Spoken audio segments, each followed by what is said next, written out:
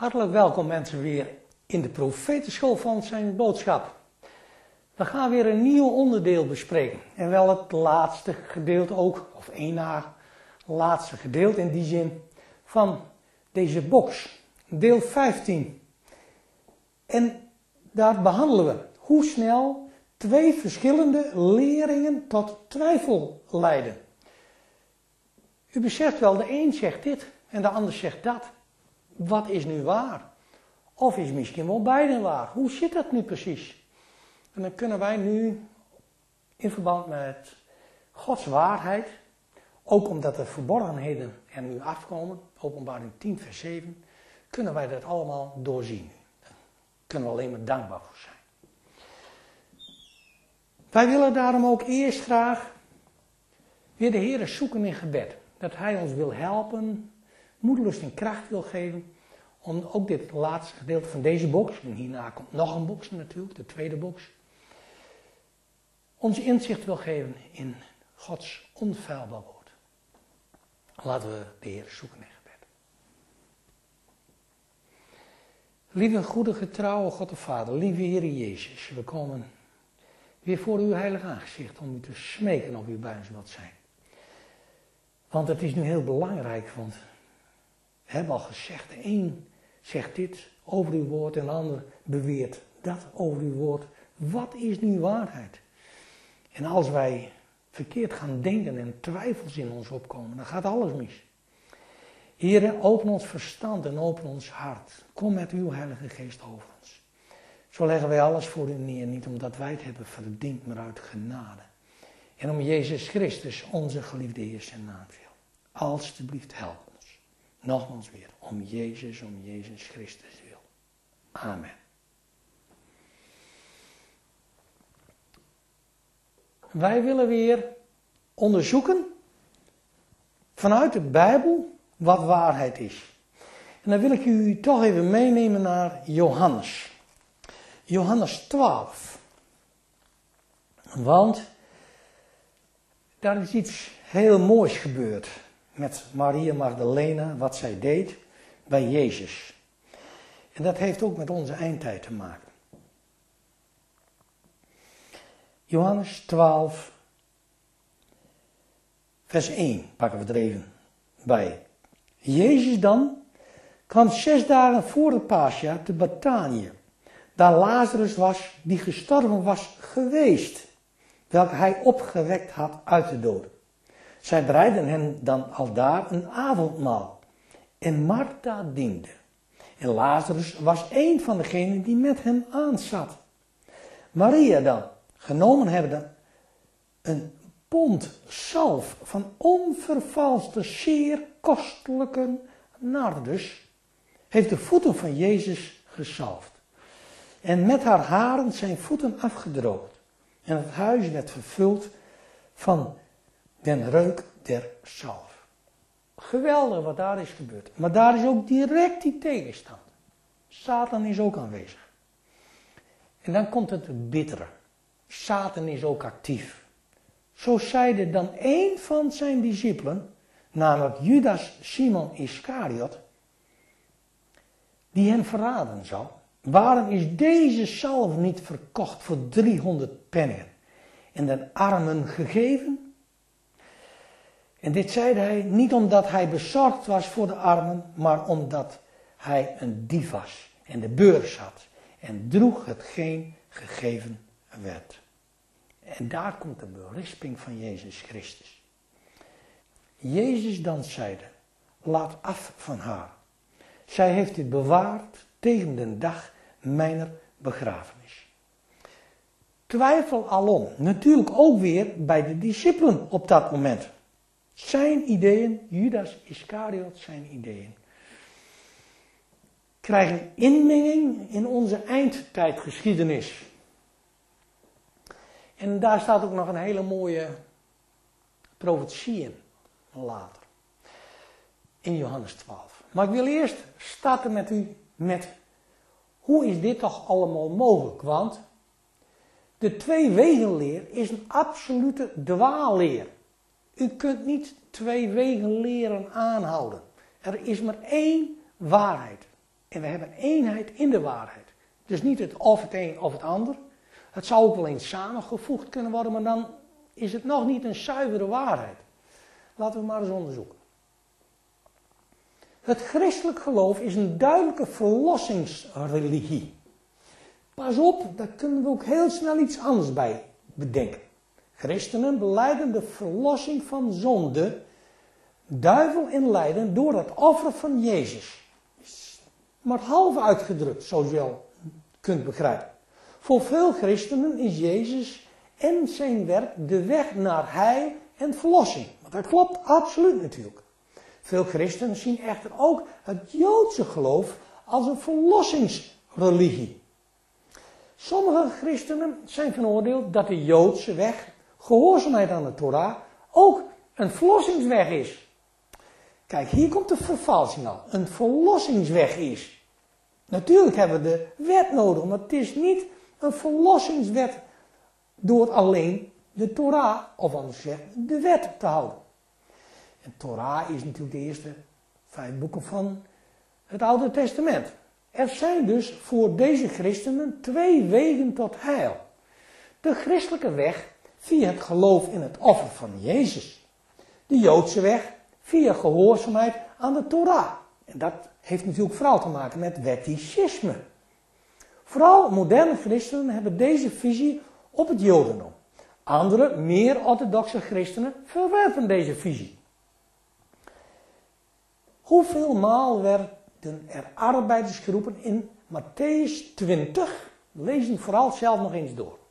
De eerste uren arbeiders waren de letterlijke Israëlieten. De derde uur arbeiders waren de geestelijke Israëlieten.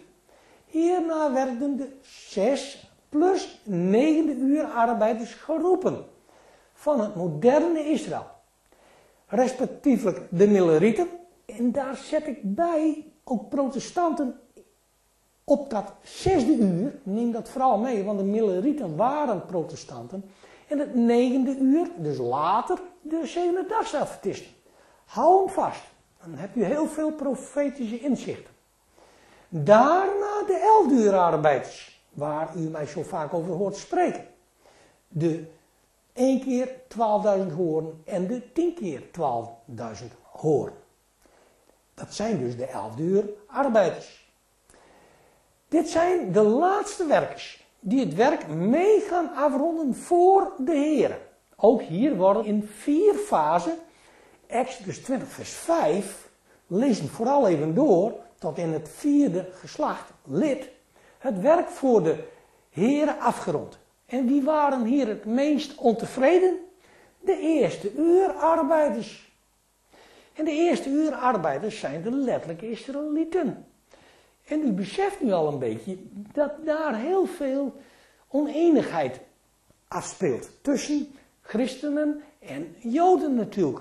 Messias blijdende joden en christenen. Dat zit niet goed. Dat klopt iets niet. Dat is wreveling, dat is twijfel tussen die groepen. Inmenging van elkaar en een verkeerde inmenging door elkaar. Laten we eens verder onderzoeken. Bijvoorbeeld, de voorbestemmingstheorie is weer de grote vervalsing in eindtijd in vele kerken. De mildere versie beweert dat iemand tot de Vader komt dan die al bij de Vader zei. Zij beweren dat hun uitverkiezing, dus pas op, de basis is voor hun verlossing. De orthodoxe stelling luidt dan, er is maar één weg en dat is Jezus Christus. Dit laatste klopt, maar is zeker niet volledig. Dus pas op voor die uitverkiezing, veelvuldig behandeld in gerechtigheid door geloof. Hoe zit het met de volgorde van rechtvaardigmaking en heiligmaking? Let op deze laatste woordjesmaking. In plaats van de vervalste voorbestemmingstheorieën, of uitverkiezing, of predestinatie. Er zijn vele namen voor. Die velen aanhangen, of genade alleen. Dat is een tegenhanger daar weer van natuurlijk. Maar die hoort er wel bij. Alverzoeningsleer hebben ze er ook al bij bedacht. Maar dan gaan we even naar 1 Corinthians 6 vers 11. En dit waart gij sommigen. Maar gij zijt, eerste punt, afgewassen. Maar gij zijt, tweede punt, geheiligd. Maar gij zijt, derde punt, gerechtvaardigd in de naam van den Heer Jezus en door den geest onze Gods. Heb ik erbij gezet, ook actieve dienst straks. Maar dat laten we even voor wat het is. Want waar draait het hier om? Eerst afgewassen, gedoopt, geheiligd en gerechtvaardigd in Christus. Hier lezen velen dat we eerst geheiligd, uitverkoren worden, want deze is het tweede genoemd. En voor de rechtvaardigmaking zeggen ze dan? Nee, wacht even. Wat is er aan de hand? Eerste was gedoopt. Hou daar goed rekening mee. Afgewassen. En dan gerechtvaardigd, derde genoemd. Dat klopt dus niet. Want, laten we even verder lezen. Velen denken dan dat men eerst geheiligd uit verkiezing of uitverkoren wordt en dan gerechtvaardigd. Maar dit is niet de Bijbelse volgorde. Zo blijkt, hier wordt namelijk niet over rechtvaardigmaking en heiligmaking gesproken. Hier wordt namelijk expliciet over na de doop, tijdens de doop mag u ook zeggen, als eerste gesproken door Paulus. Zie voor meer informatie de liefde van zijn boodschap verdieping 1. Dus hou er goed rekening mee dat als het moment van doop daar is en u bent op dat moment gedoopt, dan bent u inderdaad geheiligd en gerechtvaardigd door Jezus Christus op dat moment. Maar daarna komt de heiligmaking. En u weet ook nog in dat kwadrant dat er bovenin ook heiligmaking stond. In het bovenste gedeelte van dat kwadrant wat we allemaal uit hebben gelegd. En dat was toegerekende gerechtigheid op hetzelfde moment. Dus dan klopt dat allemaal weer perfect. Hou er rekening mee wat hier staat in 1 Corinthians 6, vers 11. Dat kan tot misleiding leiden. Maar dat hoeft totaal niet, want de Bijbel staat meer dan genoeg in hoe het echt zit. Dus deze woorden zijn in een goede volgorde, maar juist bij de doop in die zin. Dus u ziet wel dat als we het van de ene kant benaderen, of van de andere kant benaderen, dat er verwarring optreedt. En dat wil ik u hier ook mee laten zien in verband met die uitverkiezingen. Pas dus op, heb ik erbij gezet. Wij moeten onze wil eerst aan Jezus Christus overgeven. En het uitverkoren zijn is totaal een misvatting. Een totale misvatting. Dus bij deze. Dan gaan we even verder. Want wat is de enige weg tot redding? We moeten nu persoonlijk in staat zijn om dit te begrijpen en ernaar te leven. U begrijpt, twijfel al om. We weten dat rechtvaardigmaking belangrijk is, maar hoe verhoudt rechtvaardigmaking zich tot heiligmaking? De kernoorzaak is het niet goed verstaan van het evangelie. Daar draait het om. Het gevolg is dat we voor eeuwig verloren kunnen gaan. We gaan ervan uit dat u alle voorgaande presentaties heeft gevolgd en begrepen. Gerechtigheid door geloof natuurlijk. En geef ik hier nogmaals aan. Probeer voor uzelf de serie Gerechtigheid door geloof goed te verstaan. Dit is van levensbelang om de luidroep te kunnen brengen. De liefde van zijn boodschap, basis plus verdieping 1. En dan komen straks meer studies over gerechtigheid door geloof. We moeten verstaan dat rechtvaardiging en heiliging één zijn. Als u dat verstaat, dan komen we veel dichter bij elkaar. Natuurlijk heb ik u ook onderwezen dat voor de doop een hele hoop moet gebeuren. Dat gebeurt bij rechtvaardigmaking. En daardoor volgt heiligmaking en Jezus Christus, God de Vader, heiligt. En u begrijpt nu dat rechtvaardigmaking en heiligmaking één zijn. Die eerste genadegave en die tweede genade, die zijn aan elkaar verbonden. En dat komt nu veel beter tot stand. En dan valt het hele voorbestemming, uitverkiezing, predestinatie, hoe u het maar noemen wilt, valt helemaal uit elkaar. En dan gaat u beseffen met welke twee belangrijke aspecten hebben we te maken bij rechtvaardigmaking en heiligmaking. Kent u Jezus Christus? Rechtvaardigmaking is het onderstaande en heiligmaking is het onderstaande. En dan hebben we de eerste genadegave en de tweede genadegave. Hebben we allemaal behandeld. Want ziet u die serie nog een keer goed na. Dat kwadrant, dat is een vierdeling. Het getal van Jezus Christus vindt u hier ook weer in. Dat is het getal 4. En dan hebben we toegerekende gerechtigheid. U kunt niet zonder toegerekende gerechtigheid de tweede genadegave ontvangen. En u kunt niet de eerste genadegave ontvangen zonder u in te zetten voor de meegedeelde gerechtigheid. En dat is de tweede genadegave. Dus die twee horen perfect bij elkaar. Dat wil ik u hiermee vertellen. Dus nogmaals een klein stukje gerechtigheid door geloof, omdat wij aan het twijfelen gaan. Wat moeten we hebben? De profeten en de wet. Die twee. Dus hebt u mij ook heel vaak over gehoord. En u ziet nu dat daar weer scheiding wordt gemaakt. De letterlijke Israëlieten met hun Torah. Ja, zij hebben de wet. En de evangelischen, of messiasbeleidende joden, die zeggen ja, die wet is niet meer zo belangrijk. Het gaat nu om de liefde van Christus. Ja, de een sluit de ander niet uit. En dan komt de ceremoniële wet er nog tussendoor. En dan komt de Mishnah er nog tussendoor. Daar gaan we volgende keer over spreken. Verwarring brengt twijfels. Geen verschil tussen Jood en Heiden. Ja, hoe zit dat dan weer? Wat vertelt men daarover? Hoe denkt men daarover? Met name evangelische christenen geloven dat er sinds de opstanding van Christus tot aan zijn wederkomst, de genadebedeling noemen ze dat, geen verschil is tussen Joden en niet-Joden. Voor wat betreft Gods plan met de mens. Zowel Joden en heidenen, lees nu ook Sjatukumene kerken, kunnen alleen verlossing verkrijgen door persoonlijk geloof in de Messias van Israël. Dit is heel subtiel opgeschreven, maar daar zou ik veel meer over kunnen vertellen. Daarom heb ik daar ook een uitroepteken achter gezet. Let nu op. Dit was ook wat de apostel Petrus betoogde volgens Handelingen 15 vers 11. Maar door de genade van de Heer Jezus geloven wij Joden behouden te worden. hebben ze zelf tussen gezet natuurlijk. Op dezelfde wijze als zij, heidenen.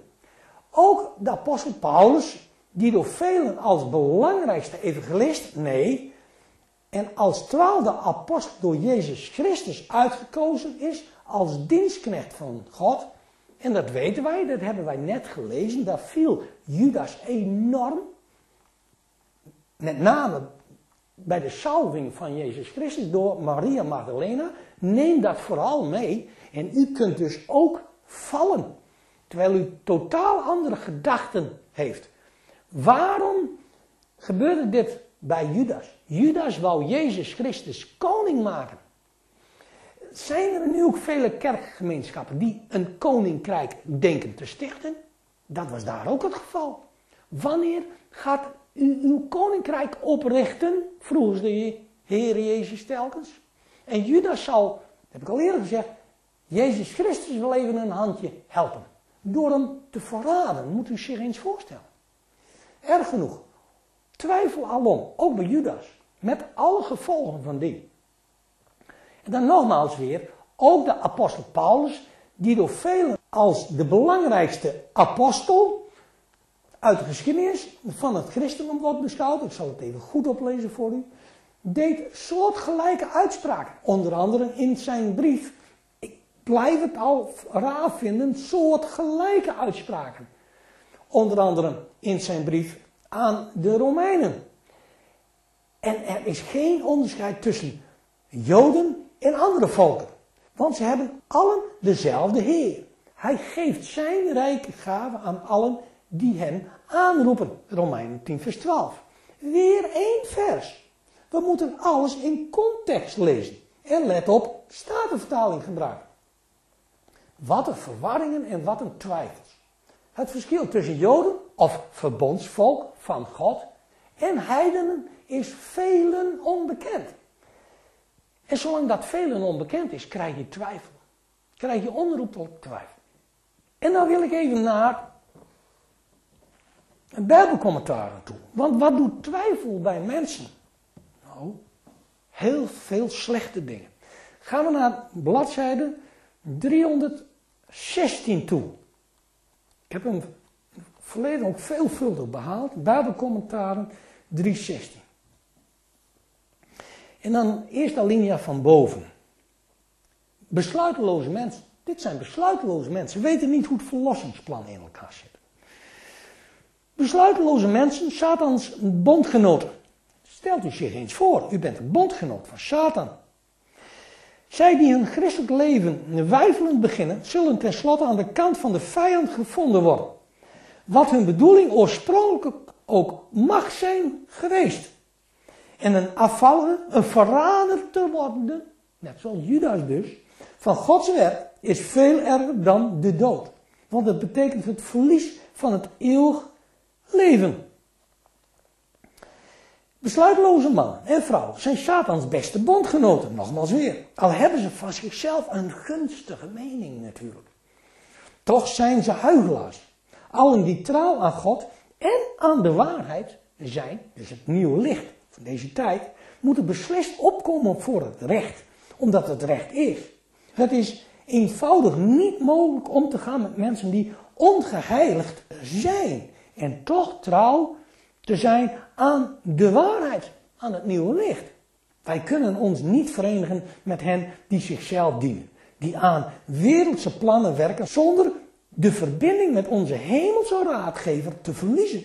Wij kunnen ontkomen aan de strikken van de vijand, van de duivel. Maar we zijn gekneusd en gewond en onze ervaring is belemmerd. Dat is nogal iets wat ik hier tegen u vertel. En u kunt dat ook vinden in bladzijde 356. Twijfel sluit de deuren voor zegeningen, ook in Bijbelcommentaar.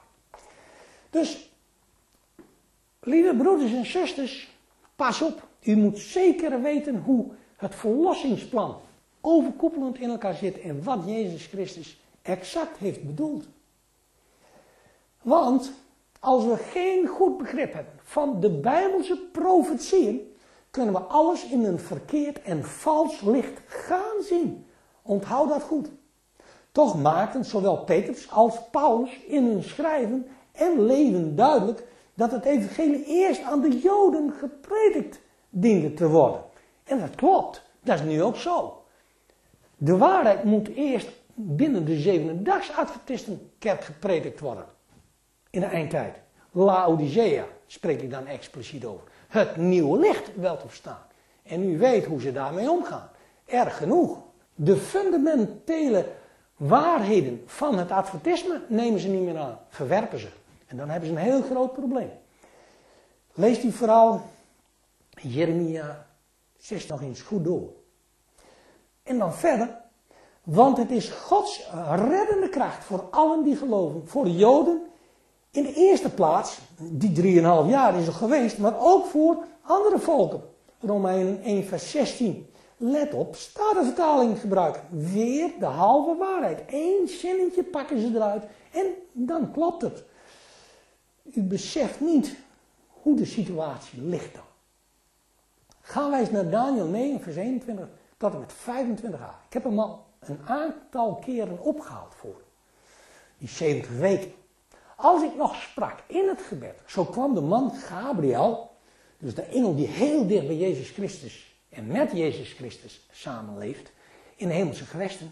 Hij is een van de engelen die bij de ark staat, bij het verzoendeksel, die ik in het begin in een gezicht gezien had, snellijk gevlogen, mij aanrakende, omtrent de tijd des avondoffers.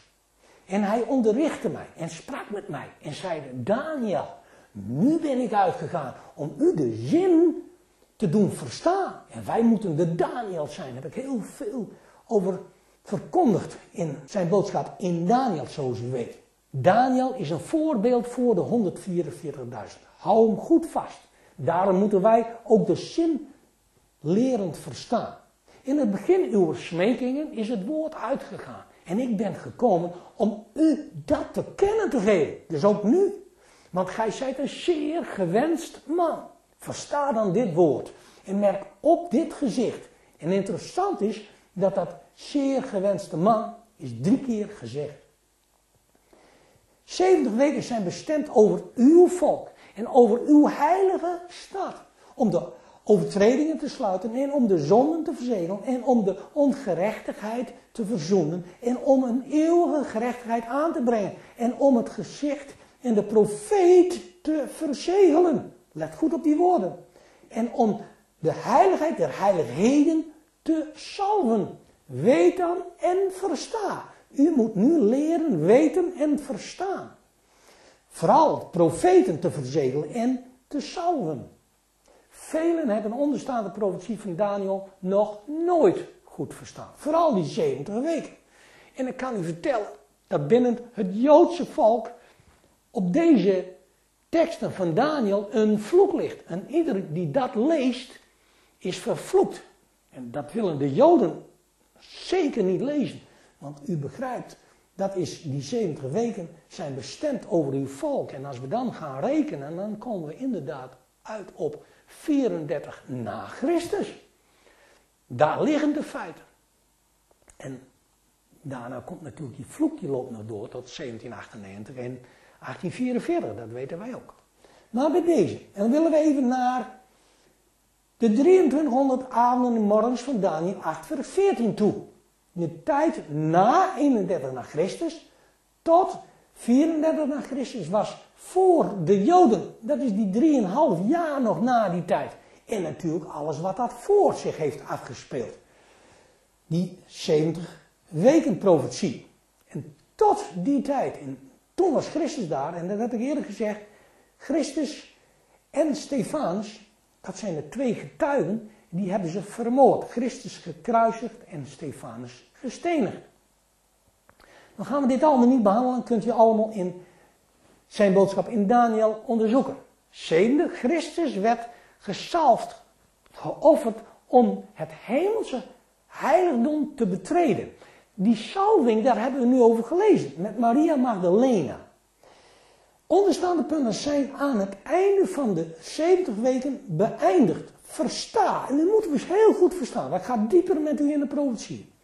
Eerste, weten we, om de overtreding te sluiten. Tweede, om de zonden te verzegelen. Derde, om de ongerechtigheid te verzoenen. Vierde, om een eeuwige gerechtigheid aan te brengen. Eeuwig verbond wordt ook aangebracht. Vijfde, en om het gezicht, profetieën natuurlijk, die er geweest waren. Zesde, en de profeet te verzegelen. En om de heiligheid der heiligheden te salven. En nu gaan we verder met Johannes 12, vers 1 tot 50. Weet wat hier staat. Johannes 12, vers 1 tot 50.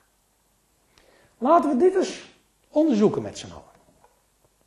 Johannes 12, vers 1 tot 50. Dat moet u natuurlijk zelf lezen. Ik pak alleen die punten eruit die ontzettend belangrijk zijn voor nu.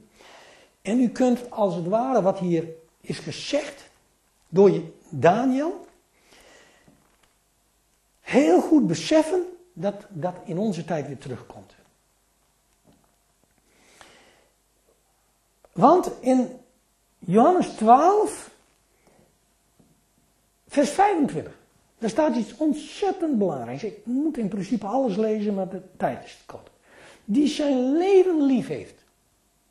Als u uw leven lief heeft, uw eigen ik lief heeft, zal hetzelfde verliezen, zult u stellen. Duidelijk, eindtijdprofetie.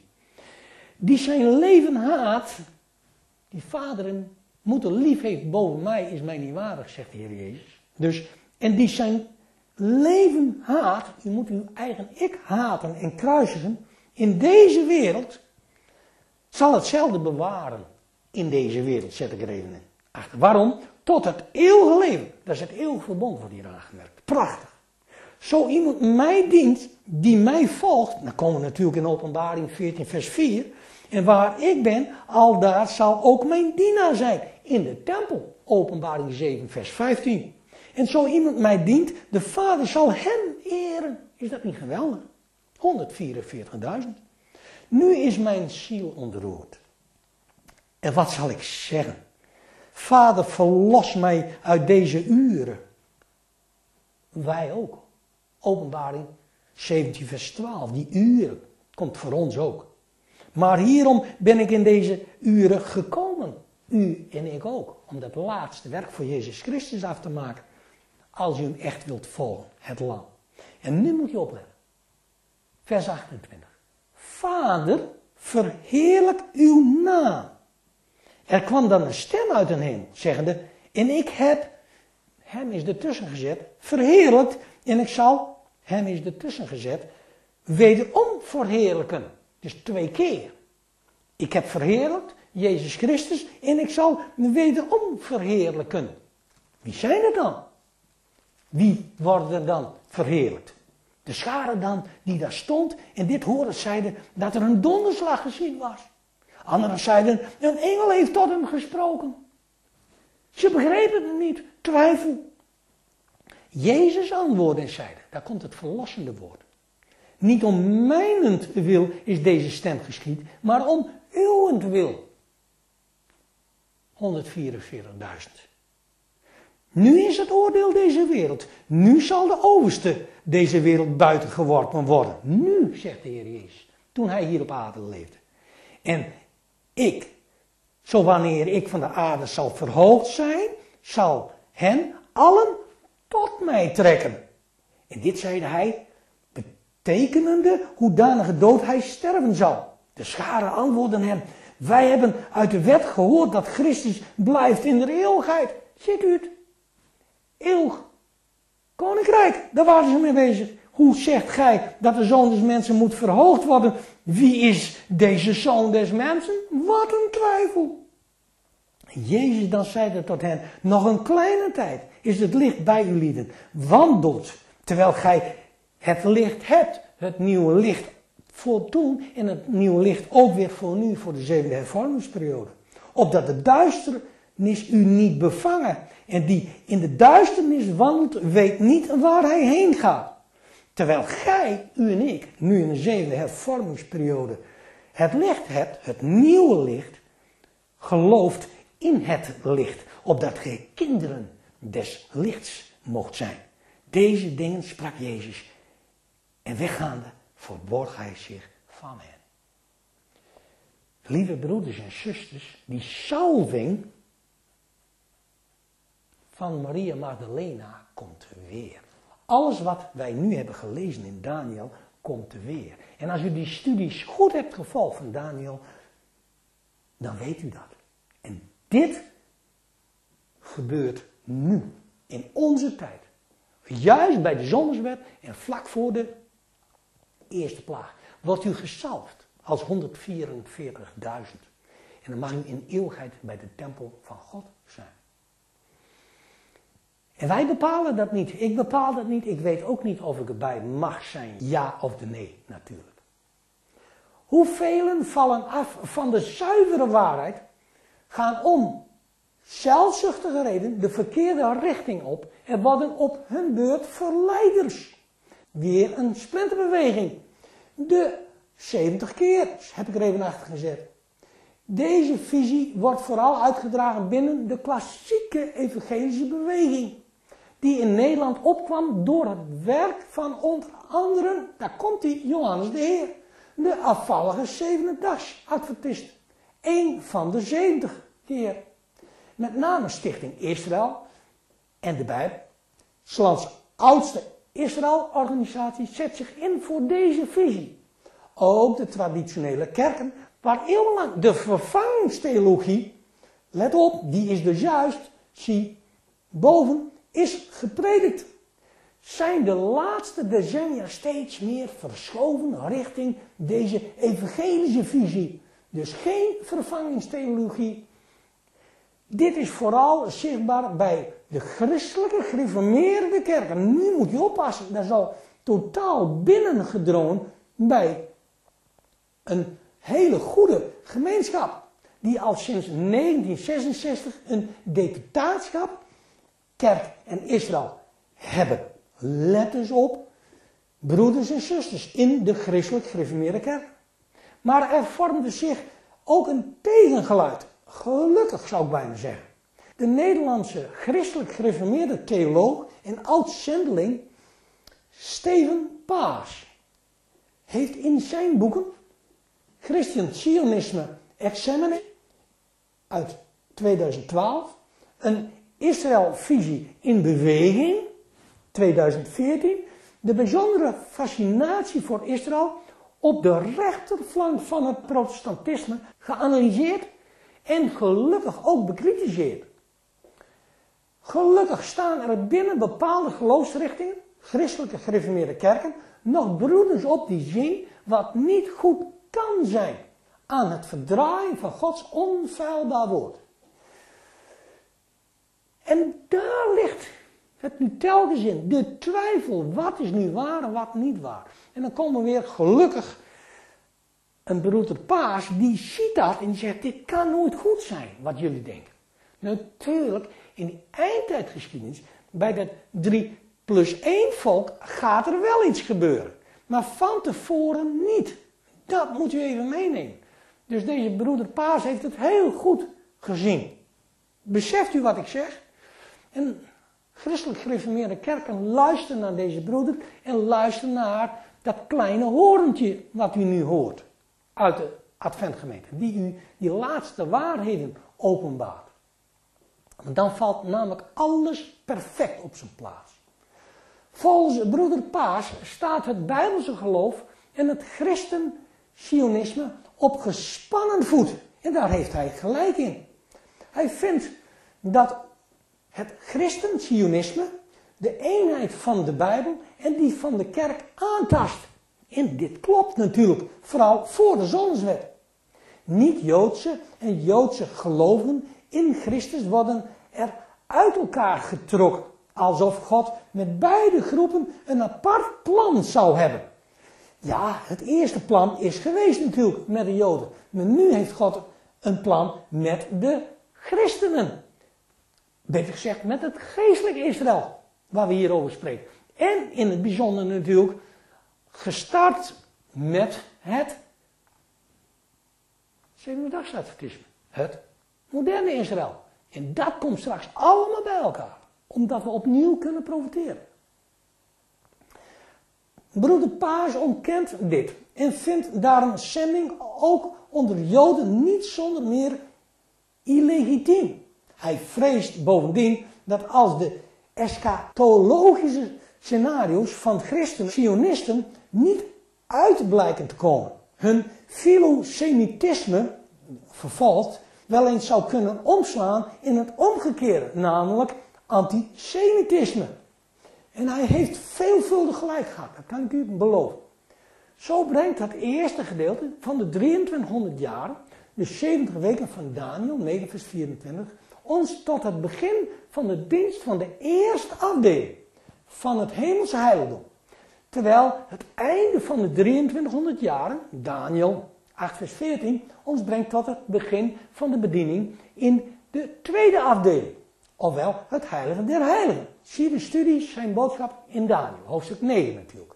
Wat ik hiermee zeggen wil is dat de Joden nog in de voorhof zitten. Die denken nog in de voorhof. De christenen, geestelijk Israël, zitten nog in het heilige gedeelte van het hemelse heiligdom. En de Zevendagsadventisten, het moderne Israël, zit in het heilige der heilige gedeelte. Dus er is een opeenvolging ook van bedelingen en kennis. Dat moet u vooral meenemen. Dus het verweven van het Jodendom in het christendom is absoluut niet goed. Heeft de broeder Paas gelijk. Absoluut. En het verweven van de evangelische kerken in het, let op wat ik nu protestantisme is niet goed. Want dat zijn de valse profeten. Die zijn overkoepelend continu bezig. Dus ook bij het jodendom, ook bij het gereformeerde, christelijk gereformeerde kerken, alle gereformeerde hervormde kerken, dus spreken we over het geestelijk Israël, die vermenging is niet goed. Heeft broeder Paas gelijk in. En de vermenging van de valse profeten, evangelie zien, in de zevende dagsadventiste kerk. Is niet goed. Nu gaat u beseffen dat op het allerlaatst bij de drie plus één volk God alles recht gaat zetten. En dan moet u kiezen. Let op wat er dan gebeurt. Kan u alleen maar heel nadrukkelijk waarschuwen. En dan even naar die twee woorden. Wat is filosemitisme en wat is antisemitisme? Want dan kunt u dit herhalen en dan kunt u dat nogmaals goed doorzien. Filosemitisme is sympathie voor het Joodse volk of het Joodse geloof. Het tegenovergestelde van antisemitisme. Vooral in protestants christelijke kringen waar men de oorsprong van het eigen geloof zoekt in het Oude Testament, is men vaak uitgesproken filosemitisch. Dus dat houdt sympathie voor het Joodse volk. Dit kan samenvallen met pro-Israël houding of ondersteuning van het Sionisme. Doch dit is niet noodzakelijk. U ziet wat ik zo pas heb verteld. Er wordt iets samengesmeed en dat gaat niet werken. Tot de zonneswet. Een hedendaagse en Nederlandse exponent van uitgesproken filosemitisme is de Stichting Christenen voor Israël. Ze horen niet bij het ene, ze horen niet bij het andere. Wat heb ik altijd gezegd? Ze vallen tussen de wal en het schip in. En dan hebben ze een probleem. Ja, moeten ze nu op een wal klimmen of moeten ze op het schip klimmen? U beseft, ze hebben geen goede fundering meer. En God wil dat allemaal oplossen in die eindtijdgeschiedenis. In onze eindtijdgeschiedenis. Van Joodse zijde staat men soms argwanend tegenover filosemitische uitingen. En terecht natuurlijk, onder meer omdat men wel bang is dat er verkapte bekeringsmotieven achter kunnen schuilen. En dat klopt, dus de een kan de ander ook niet helemaal waarderen. En dan even een algemene opmerking, want soms is het pijnlijk en verdrietig. En ik wil u helpen. Daar heeft de Heer mij voor geroepen. Niet om vingers te wijzen. Absoluut niet. Dat moet u telkens vasthouden bij deze. Hebben ze nog wel begrip over hetgeen waar ze hier over spreken? Voor wie hebben we nog wel begrip? Hebt u en hebben wij nog wel begrip van de waarheid? Zien we niet dat we telkens de verkeerde kant op kijken? Zien we nog wel wat Jezus voor ons gedaan heeft? Kent u zijn profetische waarheden allemaal? Zien we nog wel wat de gevolgen zijn, zoals de Joden, als we hem verlogenen? Zien we nog wel dat we meer met andere dingen bezig zijn dan met het ware geloof in Christus Jezus en wel gerechtigheid door geloof? Ik heb u dat heel vaak gezegd. Als u niet die dieptes van Jezus Christus in uw hart hebt, gerechtigheid door geloof, uw rein en onbesmet wilt bewaren van deze wereld, dan kunt u dat nieuwe licht niet krijgen. Dat is onmogelijk. Dat kan niet in uw hart leven. En daar ligt vaak het probleem. We willen allemaal eigengerechtig en zelfzuchtig ons toch wel laten zien dat wij toch wel het ware geloof hebben. En dat zien we telkens weer terugkomen, dat gaat altijd, bijna ten alle tijden fout. En daarom heb ik nogmaals die heiligdomsleer hier bijgevoegd. Gods heiligdom op aarde en in de hemelen. De 3 plus 1 verbonden en volgen. Het A-gedeelte hiervan. Hebben we al besproken, maar wat ik vooral met u wil onderzoeken. En dat is het volgende. U ziet hier het letterlijk Israël.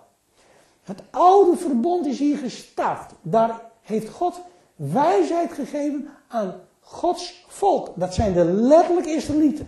Expliciet. De Joden, om nog duidelijker te zijn. En we zien ook dat hier het eerste en vierde genadeverbond is bekrachtigd bij de kruisiging. Dus daarom zijn die verbonden zo ontzettend belangrijk. En daar heeft de Heer Jezus ook gezegd. Ga dan heen en onderwijst alle volken dezelfde dopende in de naam des Vaders en des Zoons en des Heiligen Geestes. Lerende hen onderhouden alles wat ik u geboden heb. Dus die geboden zijn wel degelijk belangrijk. En dan komen we dus in het gedeelte wat wij moesten doen. Roept luidkeels uit. En dan komen we in het geestelijk Israël. waar dus de christelijke gereformeerde kerken, waar we zo pas even over hebben gesproken, in zitten. Dan komt de tweede fase Christus, de zeven gemeenten. Daar is hij middelaar. En dan zien we dat versterkte of vernieuwde, niet nieuw verbond, maar vernieuwde, versterkte verbond, het geestelijke Israël.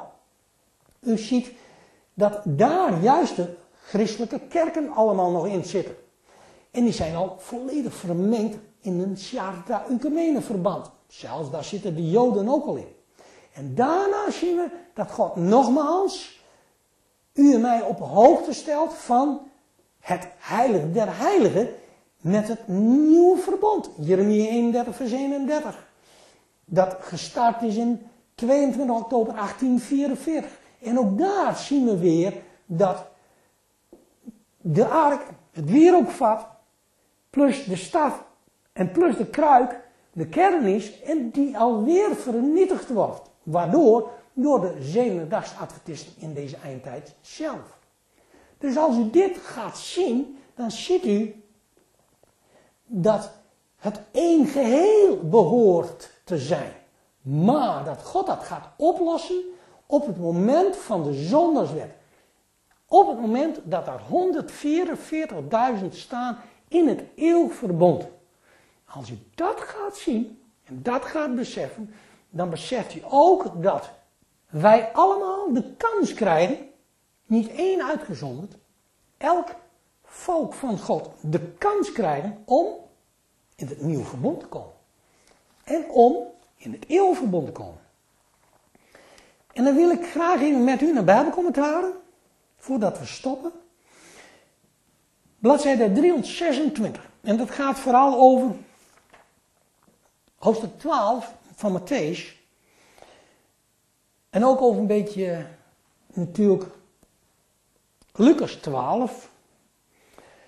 Lucas 12 vers 47 en 48. Die heb ik u heel vaak genoemd. En in dit gedeelte staat iets heel moois in. Dan kan u Lucas 12, 47, 48 nog even oplezen. Lucas 12, vers 47, 48. En die dienstknecht, welke geweten heeft de wild zijns heren en zich niet bereid, nog van zijn wil gedaan heeft, die zal met vele slagen geslagen worden. Maar diezelfde die niet geweten heeft en gedaan heeft de dingen die slagen waardig zijn, die zal met weinig slagen geslagen worden. Een ingeluk wie veel gegeven is, van dien zal veel geëist worden. En wie men veel vertrouwd heeft, toevertrouwd heeft, van dien zal men overvloediger eisen. En dan gaan we even naar Bijbelcommentaar. Bladzij 326. En begin ik even bij vastbesloten weerstand bieden aan de waarheid. Er zijn mensen die onderop deze waarheid niet gaan aannemen. In de midden. Vastbesloten weerstand bieden aan de waarheid. Christus streed niet tegen sterfelijke mensen, maar tegen overheden en machten, tegen de geestelijke boosheden in de hemelse gewesten. Satan met al zijn engelen. En dan moet hij ook tegen strijden. Ik ook. Hij zegt zijn toehoorders dat elke zonde en lastering vergeven kan worden als dit onwetend gebeurt. Hoort u dat goed? Onwetend.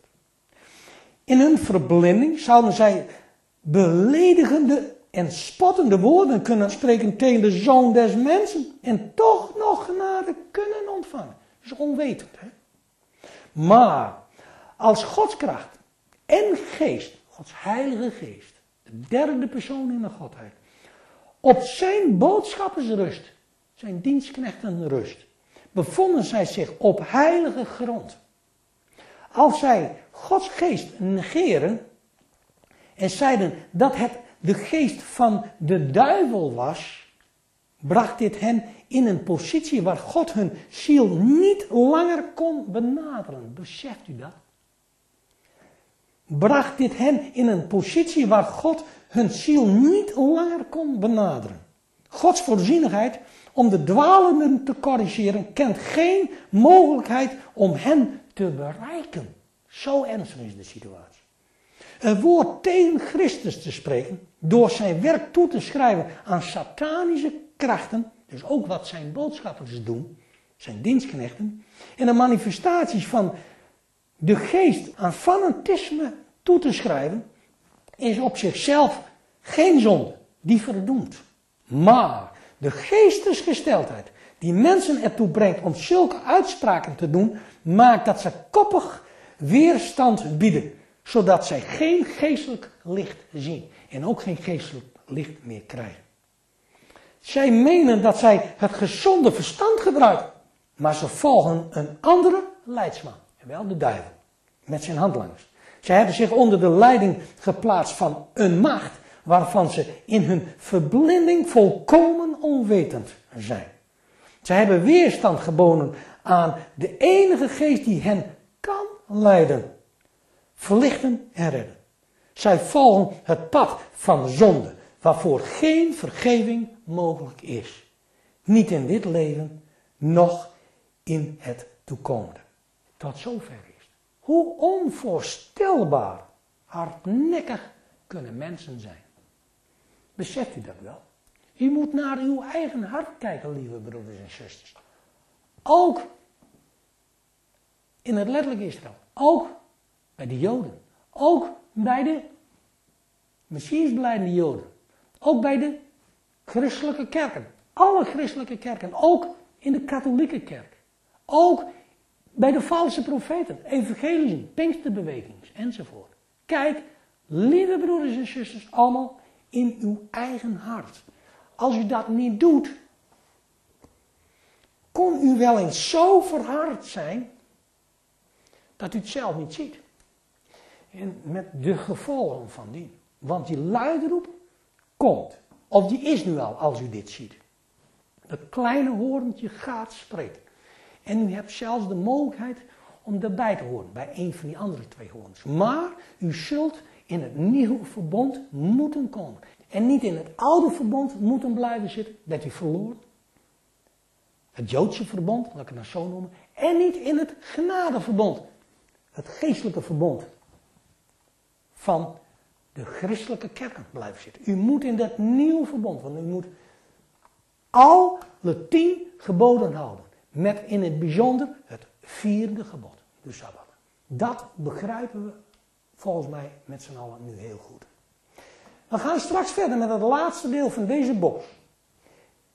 Deel 16. Geen bijbelse eenheid betekent veel kerkelijke verdeeldheid. En die is er al, veel kerkelijke verdeeldheid. Daarom benaderen we alles in alle voorzichtigheid, maar de waarheid moet gehoord worden, lieve broeders en zusters. En die zal gehoord worden, want dat heeft God beloofd. Ik hoop u straks na de pauze weer te mogen ontmoeten. Onderzoek het, bespreek het, neem even afstand. En dan gaan we straks verder met het laatste deel van deze box, deel 16. Ik hoop u dan ook weer te zien. Graag tot straks.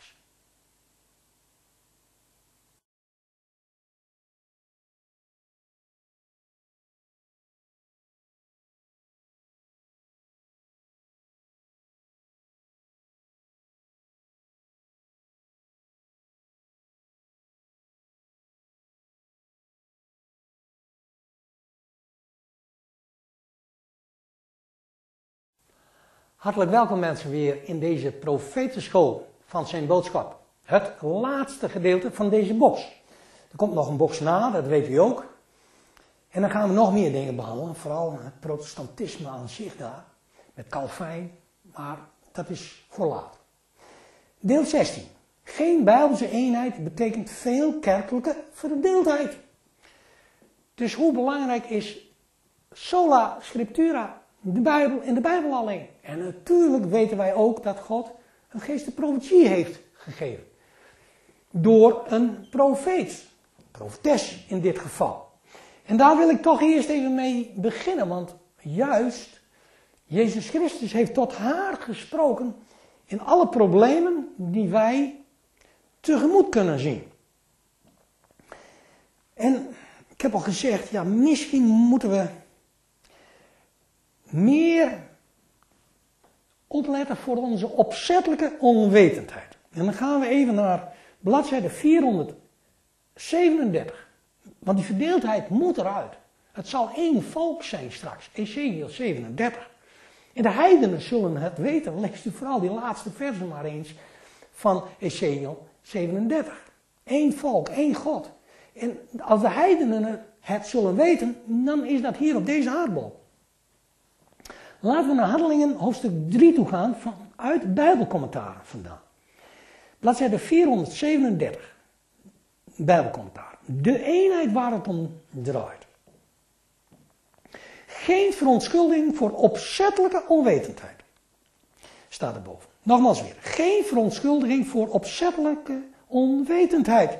Ik weet dat gij uit onkunde hebt gehandeld, zei Petrus. Maar deze onkunde was geen verontschuldiging voor de daad. Want hun was een groot licht gegeven. Vooral na die zonneswet. En ook voor die zonneswet, voor de adventisten natuurlijk. De uitspraak wordt gedaan dat als zij hadden geweten dat hij de vorst met hoofdletter des levens was, zij hem niet zouden hebben gekruisigd. Maar waarom wisten zij het niet? Hosea 4 vers 6. Waarom weten wij het nu niet? Omdat zij het niet wilden weten. Zij tonen geen belangstelling om te onderzoeken en te bestuderen. En hun onkunde bleek hun eeuwige ondergaan. Dat gaat straks voor velen weer gelden. Ze hadden de duidelijkste bewijzen waarop zij hun geloof konden gronden. Ze waren het aan God verplicht om het bewijs dat Hij hun gegeven had aan te nemen. Hoort u het? U krijgt nu die gegevens aangeleverd, het nieuwe licht aangeleverd. En u moet dat aannemen. Hun ongeloof maakte hen schuldig aan het bloed van de enige geboren zoon van de oneindige God. Ik zal het anders lezen voor onze tijd. Uw ongeloof, als u niet goed op hoogte bent en waarheid verwerpt, maakt u schuldig aan het bloed van alle martelaren in deze eindtijdgeschiedenis. En van de kinderen van God, van de oneindige God. Zo ernstig is de situatie gesteld. Beseft u wat u leest, wat u tot u door moet laten dringen. Als u niet goed op hoogte bent van het verlossingsplan, kunnen er hele ernstige dingen met u gebeuren. En gaat u ook hele ernstige dingen doen. U hoeft niet zelfstandig iemand te vermoorden. U kunt ook iemand verraden of huigelachtig zijn in uw hart. Dat past niet in de hemel. Is het voor u einde daar. Op deze wereld. Dan mag u nog opstaan in Gog Magog. Dan is het erg genoeg dat u dan alles ook geopenbaard wordt hoe u persoonlijk hebt gedacht. En gelukkig, u denkt niet zo, maar ik zeg het er wel bij, omdat u ook moet beseffen dat iemand anders dat kan overkomen. En als u dat zegt tegen iemand anders, of u helpt iemand anders, dat ze verschrikkelijke dingen tegen u gaan zeggen. Ze maken u bespottelijk, tot en met. Ze lopen bij u vandaan. Erg genoeg. Maar u moet rustig blijven in alle zachtmoedigheid. En dat is niet altijd makkelijk, kan ik u beloven. Vooral als het om familieleden gaat, oprechte broeders en zusters in de kerk, waarvan u houdt. Misschien wel uw eigen man, misschien wel uw eigen vrouw, uw eigen kinderen. U mag alles gaan invullen. Maar dat is een training voor u en voor mij, opdat Christus dat ook heeft meegemaakt. En nog vele malen erger dan wij het ooit zullen meemaken. Dat moet ook duidelijk zijn. Laten we maar starten. Nu kunnen we zien, of ontdekken natuurlijk, waar de verdeeldheid toen en nu vandaan komt. Hebben we nu veelvuldig besproken. Ook met de Bijbelcommentaren van E.G. White erbij. Binnen de protestantse kerken in Nederland, de PKN, dat is de Chateauquemene, is dus de paus komt nader, is er nog veel verdeeldheid. Natuurlijk, en God gaat dat oplossen. Hier vinden we, met name door de invloed van Stichting Christenen voor Israël, veel aanhangers van de twee-wegen-leer. U beseft het alweer, hè? Twee gedachten, zie je hierboven. Hebben ze er zelf achter gezet natuurlijk. Want dat is niet geheel afgedrukt. In 2005 schreef Ton Stier, directeur van Israël en de Bijbel, een boek tegen deze leer. Evangelie voor Israël onder vuur. 2005. Het zoeklicht door. Diametraal tegenover iedere vorm van Israël-theologie staan aanhangers van de Joodse Mark Ellis, Mark Braveman en Palestijnse, de Anglicaan Naim Ateek, de Lutheraan Mitri Raheb en de evangelische christenen Joanna Catanago. Bevrijdingstheologie. Er komt alweer een theologie bij. De vervalsing komt erbij door alleen genade gered. Dat is een bevrijdingstheologie. Of een alverzoeningsleer is net zoiets verschrikkelijks. Maar wat denkt u, zegt onze geliefde Heer Jezus. Een mens had twee zonen. En gaande tot eerste zeide, zoon, ga heen, werk heden in mijn wijngaard. Doch hij antwoordde en zeide, ik wil niet. En daarna berouw hebbende, ging hij heen. Dat is heel interessant voor onze eindtijd. Ik wil niet luisteren, ik wil niet. Nee, maar hij kreeg berouw. Hij kreeg inzicht, hij kreeg nieuw licht. En gaande tot een tweede, zeide desgelijks. En deze antwoordde en zeide, ik ga, heer. En hij ging niet. Dat was een verloochening van de vader natuurlijk. Wie van deze twee heeft den wil des vaders gedaan? Zij zeiden tot hem, de eerste. Jezus zeide tot hen, voorwaar zeg ik u, dat de tollenaars en de hoeren u, Joden en zevende dagsadventisten voorgaan in het koninkrijk gods. Let op wat ik daarmee bedoel. Want Johannes is tot u gekomen in de weg der gerechtigheid. En gij hebt hem niet geloofd. Maar de tollenaars en de hoeren hebben hem geloofd. Doch gij, Joden en zevende adventisten, zulk ziende, hebt daaraan geen berouw gehad. Om hem te geloven. Alleen na oprecht berouw kan vergeving plaatsvinden. Dat moet u goed onthouden. En waarom heb ik daar tussen gezet Joden en zevende adventisten? De Joden begrijpt u natuurlijk.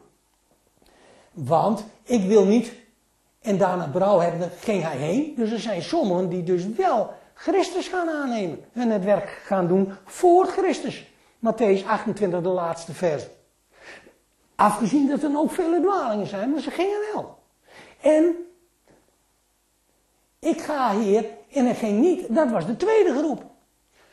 Dus we zien dat het ook bij de Joden zich afspeelde. En de Joden die gaven hun eigen vonnis. En de zevende dag staat het is en geven ook hun eigen vonnis. Want hoeveel ga nu hier. Ik ga hier, zeggen ze. Ik heb die nieuwe waarheden, de profetieën begrepen en ik ga. En hij ging niet. Die zevende dag Adventisten willen niet meer, momenteel. Ze gaan niet. Ja, want er komt zelfverloochening aan te pas.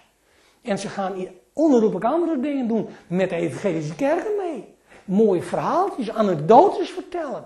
Als er maar mensen binnenkomen. We gaan tellen hoeveel we hebben gedoopt. Want kijk, dat schoort natuurlijk. Niet verkeerd bedoeld, maar zo erg is de situatie al. Ik heb al 50 gedoopt. Ik heb al 80. Ik al 82. Lieve broeders en zusters, waar zijn we mee bezig? Ik heb altijd gezegd, en dat blijf ik zeggen. Ik heb niemand bekeerd en ik zal niemand bekeren. En ook niemand dopen. Begrijpt u wat ik daarmee zeggen wil? Paulus had precies dezelfde mening met het dopen. Ben ik van Apollos? Ben ik van Paulus? Nee, ik ben van Christus. Ook daar de Joden begrepen het niet. En nu de zevende dagsadventisten ook niet. En ook de evangelische, de gereformeerde kerken, de hervormden, al die Chateaucamene kerken, beseffen niet meer hoe het verlossingsplan in elkaar zit. Daar hoort u me telkens over. En als we dan eens even verder lezen, Matthäus 21, vers 33 tot en met 46, hoort een andere gelijkenis. Er was een heer des huizes die wijngaard plantte. En zette een tuin erom en groef een wijnpersbak daarin. En bouwde een toren, denk even aan Habakkuk, twee, en verhuurde die den landlieden. En reisde buiten slans.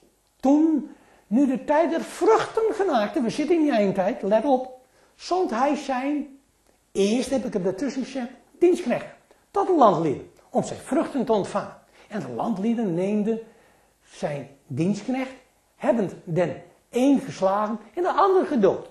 En de derde gestenigd. Wederom, let op, is de tweede keer, zond hij andere dienstknechten, zoals ik gezegd, de tweede dienstknechten. meer in getal dan de eerste. En zij deden hun desgelijks. En ten laatste zond hij tot hen derde zijn zoon, zeggende, zij zullen mijn zoon ontzien. Let op, de zoon is ook wie hem volgen waar hij ook heen gaat, in onze tijd. Maar de landlieden, den zoon ziende, zeiden tot elkander, deze is de erfgenaam. Openbaring 14 vers 4 en 5. De 144.000 die het land volgen waar hij ook heen gaat. Komt. Laat ons hem doden. En dat was toen, in Christus tijd natuurlijk, Jezus Christus. En nu de martelaar. Openbaring 20 vers 4. En zijn erfenis aan ons behouden. En hem nemende wierpen zij hem uit, buiten de wijngaard, en doden hem, wanneer dan de Heer des wijngaards komen zal. Wat zal hij deze landlieden doen? U beseft het al, zij zeiden tot hem, zij wisten het wel natuurlijk. Hij zal den kwade een kwade dood aandoen en zal den wijngaard aan andere landlieden verhuren die hem de vruchten op haar tijd zullen geven. En daar komt het onvoorstelbare, duidelijke woord van Jezus Christus, onze Heer. Voor hun en voor u en mij. Jezus zeide tot hen. Hebt gij nooit gelezen in de schrift? De steen die de bouwlieden verworpen hebben, deze is geworden tot een hoofd des hoeks. Van de Heer is dit geschied, ook in onze tijd. En het is wonderlijk in onze ogen, daarom zeg ik lieden, dat het koninkrijk gods van u zal weggenomen worden.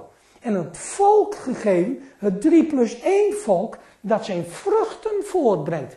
En wie op deze steen valt, die zal verpletterd worden. En op wie hij valt, die zal hij vermorzelen. En als de overpriesters en fariseeën deze zijn gelijkenis hoorden, verstonden zij dat hij van hen, Joden en Zevendagsadventisten sprak. En zoekende hem te vangen, vreesden zij de scharen, terwijl deze hem hielden voor een profeet. En nog begrijpen we het niet. Opnieuw profiteren. Ze willen u ook weer gaan vermoorden als u aan de Bijbelse waarheid vast blijft houden. Openbaring 14, vers 13. Zalig zijn de doden die in de Here sterven van nu aan, leest u daar. En daarvoor zijn de 144.000 benoemd. In vers 12 leest u dat nog eens goed na. De herhaling hadden wij al gelezen.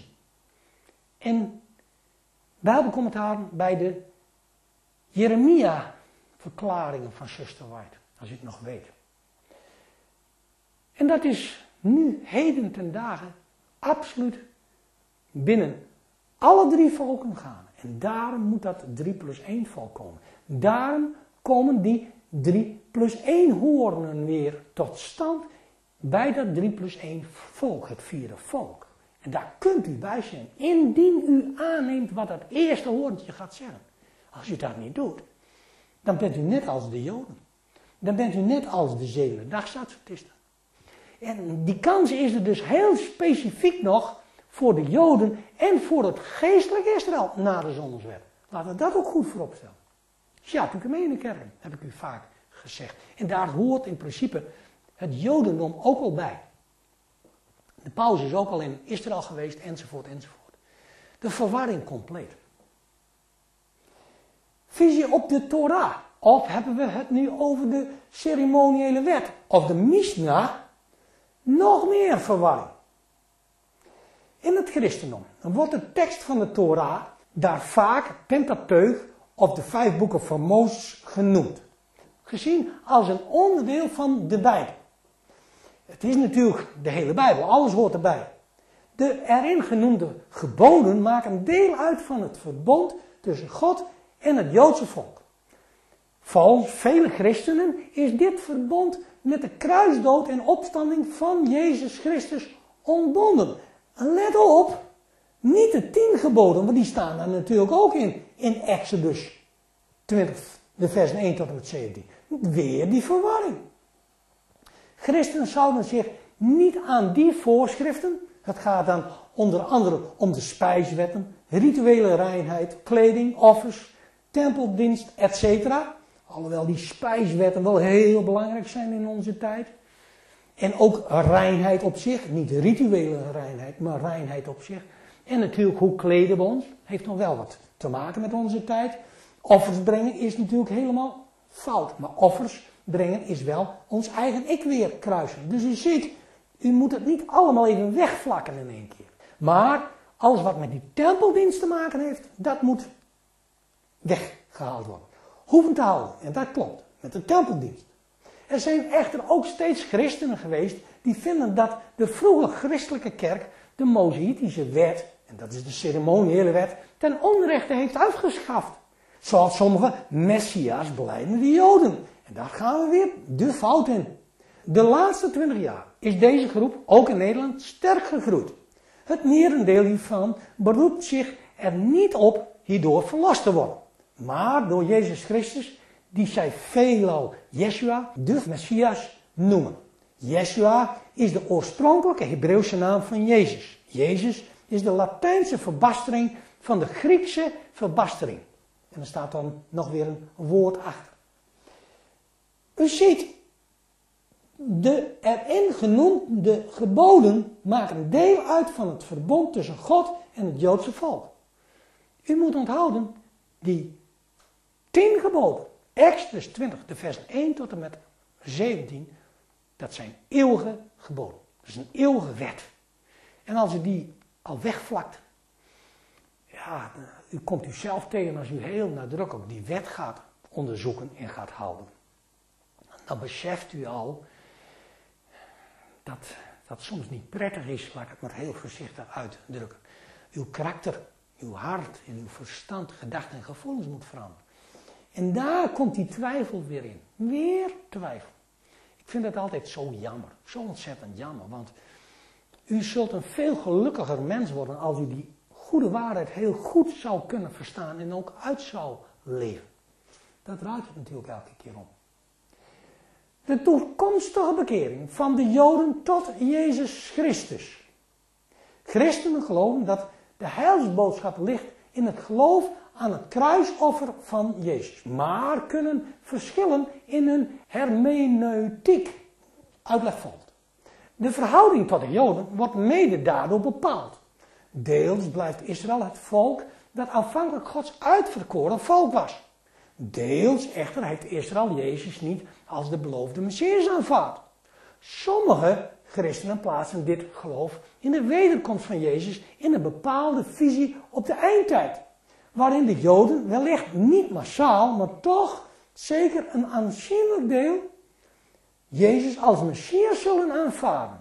En u begrijpt al, dat zal zeker iets gebeuren na die zonneswet. Daar zit dus een kern van waarheid in.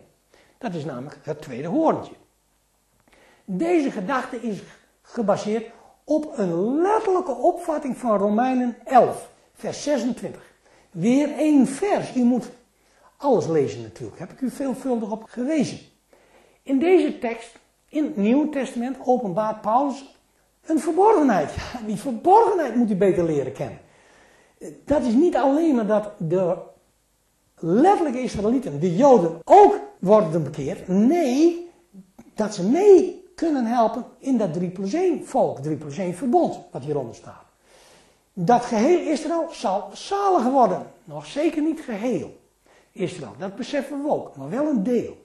Vooral gaat het dus om het 3 plus 1 volk en de 3 plus 1 hoornen, zoals we weten en hebben geleerd. Vooral onder een deel van de rechtervleugel van het protestantisme leeft de hoop, en dat is een goede hoop, dat deze massale, een overblijfsel, moet u daar neerzetten, bekering eenmaal in de toekomst zal plaatsvinden. Sommigen zien in de huidige Messias beleidende Joden, Joden die Jezus als Messias beschouwen, een voorteken hiervan. Onvoorstelbaar. Wat een bijbelse onkunde in principe. Van Gods onfeilbaar woord wat zo duidelijk is. Als de protestanten, Messias blijvende Joden, het verlossingsplan gaan aannemen van het kleine hondje, met daarbij de geest profetie, gaan ze alles inzien. Gaan ze alles begrijpen. Dus de Sheltuke kerken in één woord genoemd, inclusief de Joden, kan alles verstaan als ze naar dat ene hoorntje gaan luisteren. Die verborgenheden zijn er nu af. Hoe zit het dan echt precies? dat heb ik u allemaal uitgelegd met die hoorns en met die 3 plus 1 verbonden enzovoort. En met het vallen ook van het letterlijke Israël en het vallen van het zevende dagsadventisme. En het opnieuw kunnen profiteren vanuit Christus zijn tijd vandaan. De geschiedenis van de Heer. Met daarbij zijn boodschap in de profetie verdieping 1. Daar ben ik mee begonnen natuurlijk. Het opnieuw kunnen profiteren. En dan even naar die moeilijke woorden. Hermeneutiek. Wat betekent dat?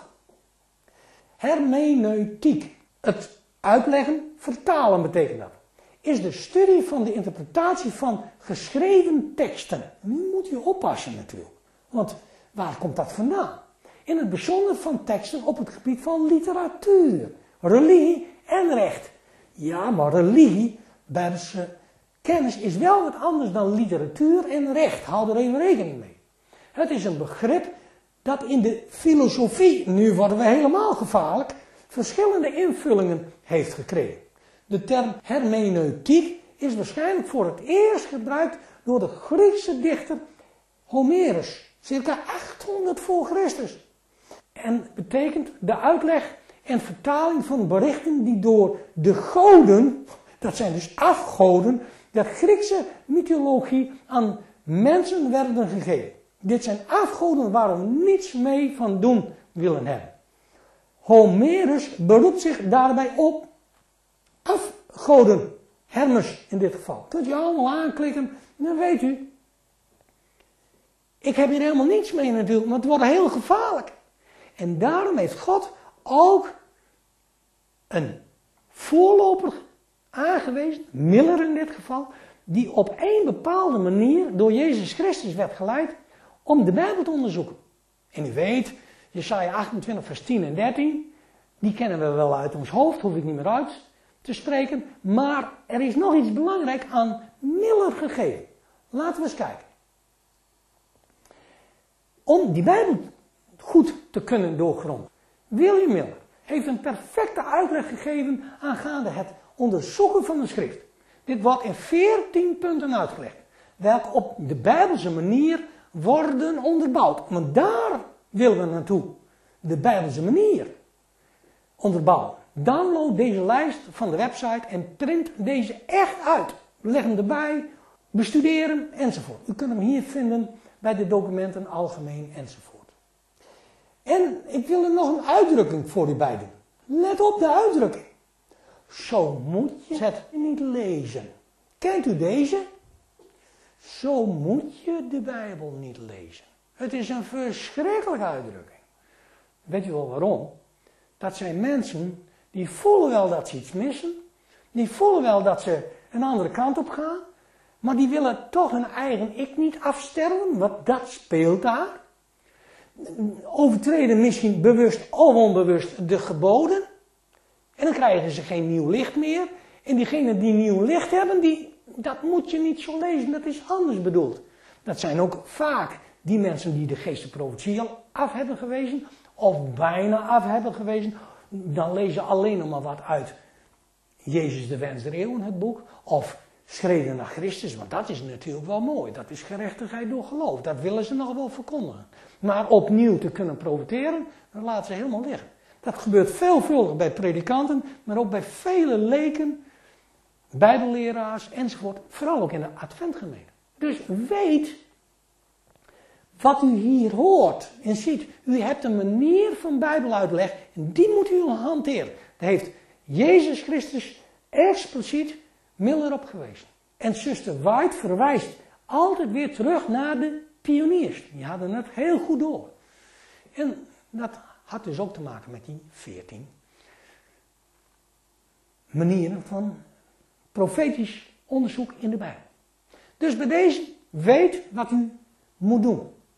En dan komt er nog iets, wil ik weer op terugkomen, dat is dat wanhoopverbond. Want Jezus Christus is de alfa en de omega.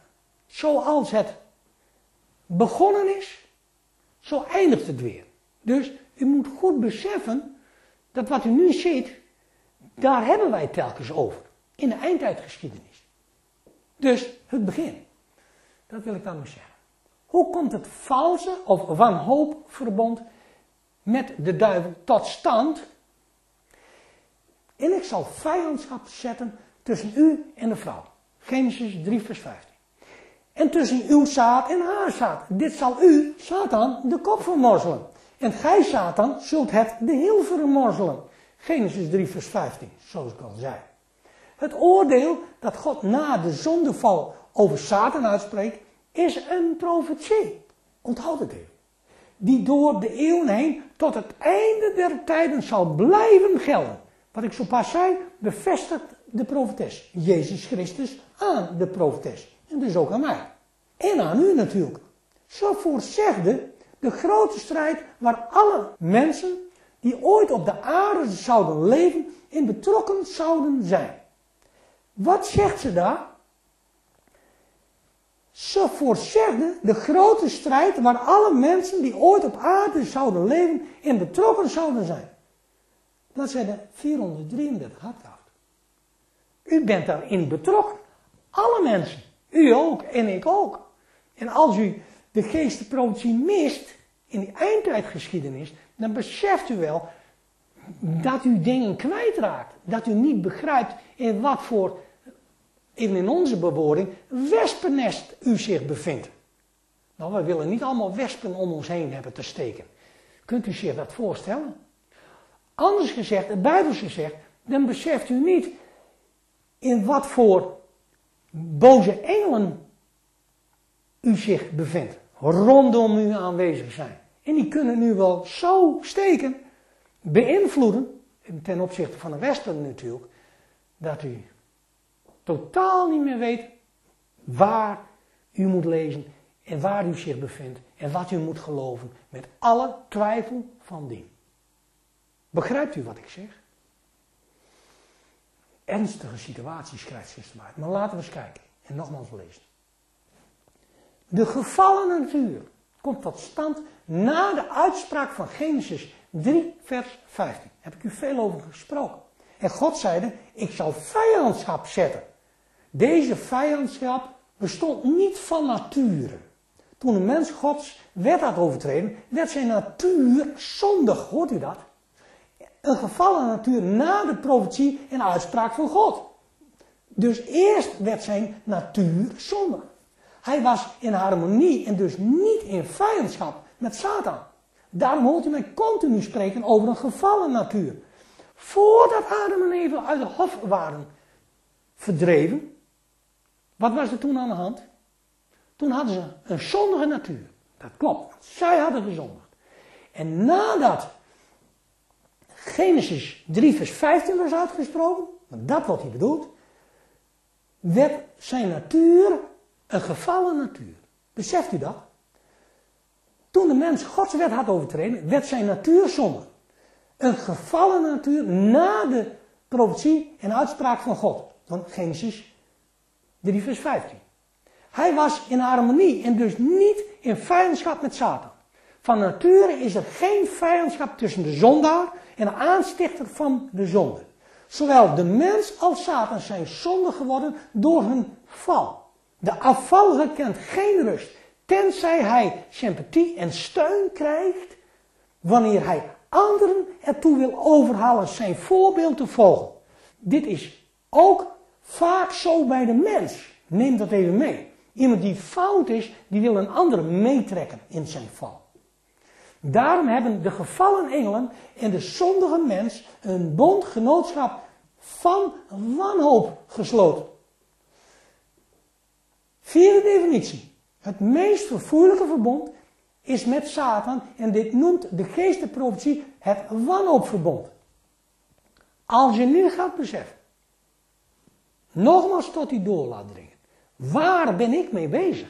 Als ik niet goed met de Bijbel op hoogte ben, niet goed met gerechtigheid door geloof op hoogte ben, en alles maar ga verkondigen, ik heb een zondige natuur, dus ik kan niet stoppen met zondigen. En ik neem anderen daar mee in die val. En die wet is niet meer nodig. Laten we staan de tien geboden.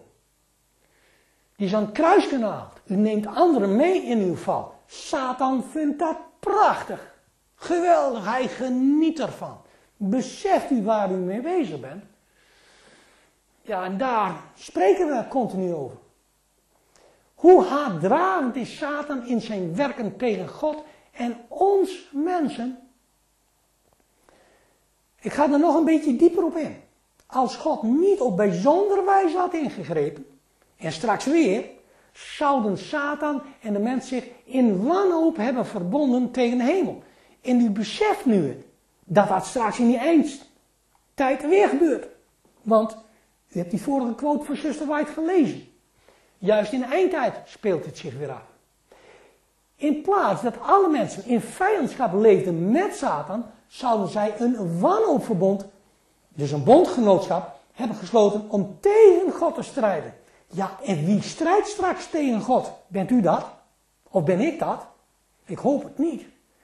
Satan heeft de mens tot de zonde verleid, zoals hij de engelen tot opstand heeft gebracht, om zich van hun medewerking te verzekeren in zijn strijd tegen de hemel. En dit is een gruwel voor God. De gruwel voor God is, als u denkt dat u de waarheid hebt en niet wilt luisteren en het nieuw licht aanwijst en anderen meeneemt daarin, dan bent u op het pad van Satan. Dan bent u een handlanger van Satan geworden. Dit is een gruwel voor God. Omdat het ook zo begonnen is in de hemel, lieve broeders en zusters. Weet waar we het hier over hebben met z'n allen. Want, dat leest u nu, Satan en de gevallen engelen, en dus ook de gevallen mensen, die niet in Christus Jezus zijn, waren het volkomen eens in hun haat tegenover Christus. Terwijl er op vele andere punten oneenigheid bestond, en dat ziet u heel vaak, ook met geloofsgemeenschappen, waren zij eendrachtig in een verzet tegen het gezag van de heerser van het heelal. De heerser met hoofdletter. En dat gaat in eindtijd weer gebeuren. Als u dit niet begrijpt, komt u niet door die eindtijd heen. Want u moet beseffen dat de hele wereld straks tegen u is. Alle kerken zijn straks tegen u. Beseft u dat wel? Want het is een nieuwe wereldorde. En God heeft daar een geweldig plan neergelegd. Die heeft gezegd, zij die mijn geboden totaal houden, die gaan dit verstaan. En die hebben twee mogelijkheden. Of ter dood gebracht worden als martelaar. Of ze hebben mij gevolgd waar hij ook heen ging. Jezus Christus, het lam, heen ging. Die zullen bij de 144.000 horen, lieve broeders en zusters. Toen Satan de uitspraak hoorde dat er vijandschap zou worden gezet tussen hem en de vrouw, de vrouw is de gemeente, en tussen zijn zaad en haar zaad van de gemeente, wist hij dat zijn poging om de menselijke natuur te verderven niet ongehinderd zouden blijven. En dat de mens door een of ander middel in staat zal worden gesteld zich tegen zijn macht te verzetten. En dat een of andere middel, dat mag duidelijk zijn, dat was Jezus Christus. Met daarna, toen Jezus opgevaren was ten hemel, toen hij Satan overwonnen had hier op deze aarde, toen was dat andere middel de derde persoon in de Godheid. God de Heilige Geest. En verwerp God de Heilige Geest als derde persoon niet, dat hebben we nu gelezen, dan zondigt u tegen de Heilige Geest, dan verwerpt u Jezus Christus persoonlijk, maar ook zijn boodschappers. En dan wordt u nog gevaarlijker. Zie deze studie nogmaals door, lieve broeders en zusters. Aan welke kant staat u als de luidroep via godsdienstknechten tot u komt, en ook nu tot u komt? Vrijwel alle mensen, de massa, zal voor het merkteken van het beest kiezen. En waarom? U hoeft maar aan één van de onderstaande punten te voldoen. En u kunt het eeuwig leven verliezen. Omdat men aan tradities van de ouders, familie en kerk vasthoudt? Ja, dat kan. Of omdat men alleen naar de eigen dominee, predikant wil luisteren? Omdat men geen innige band met Christus heeft opgebouwd? of omdat men niet heeft gestudeerd en verloren gaat door gebrek aan kennis en uitgeroeid wordt dus, of omdat men verharde harten heeft tegen de dienstknechten van God, of omdat men twijfelt aan alles wat men hoort, doordat men de Bijbelse waarheid niet kent, of omdat men de engel des lichts aanziet voor Jezus Christus, terwijl het Satan is, die komt dus in Jeruzalem in de tempel, of omdat hun karakter, gedachten en gevoelens, verkeerde neigingen kunt u erbij pakken, niet toereikend is, of omdat men een van de tien geboden Exodus 20, vers 1 tot 17, overtreedt, of omdat men niet het kleed van gerechtigheid door geloof van Jezus Christus draagt, of omdat hier kunt u nog veel meer punten aan toevoegen. U mag zelf de keuze maken, want geloven is en blijft een vrije keus. Beseft u wat er in de eindtijd geschiedenis, vooral na die zonswet, maar het begint al iets voor de zonswet, zeg ik altijd, aan de hand is. Met welke nieuwe wereldorde gaat u mee? Met welke geloofsgemeenschap gaat u mee? Weet u dat wel? Herkent u dat? Ik heb nogmaals deze plaat voor u erbij gepakt. Want de paus zegt, Rome zegt, zoveel als zij zichzelf verheerlijkt heeft en weelde gehad heeft, zo grote pijniging en rouw doet aan. Want zij zegt inderdaad, ik zit als een koningin en ben geen weduwe. Er zal geen rouw zien, openbaring 18 vers 7. En lopen we er even wat sneller doorheen. Want we zien hier de vier generaties van het moderne Israël. Daar komt een eind aan bij die zondagswet. De eerste wereldholocaust na 1844, 1940 1945 is al geweest. En dan komt die tweede holocaust start. Voor de zondagswet. Rond de getuigenis wordt gehoord. En dan moeten alleen de Shabbat kerken in het nieuwe verbond komen. Die moeten uit het genadeverbond vandaan. En u weet, de nieuwe wereldorde brengt een doodsdecreet. Plus de tweede holocaust. Het doodsdecreet staat oordeel Sjarta. En dan noem ik Sjarta even inclusief de Joden. Door welke van de drie adelaars hebben we allemaal besproken.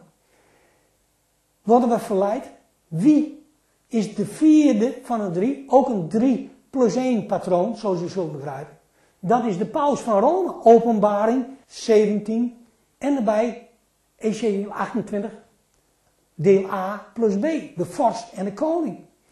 En dan zien we ook de 144.000 staan op een bepaald moment, inclusief de elf werkers. Het zal één volk zijn, Ezekiel 37. Start, plagen komt, einde geestelijk Israël. Let op.